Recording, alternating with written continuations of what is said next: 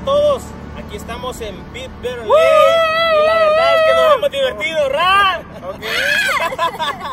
hey, sí nos hemos divertido. y-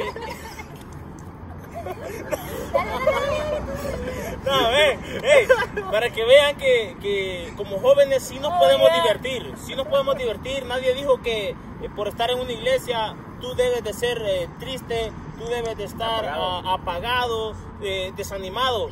Como joven y como cristiano también te puedes divertir.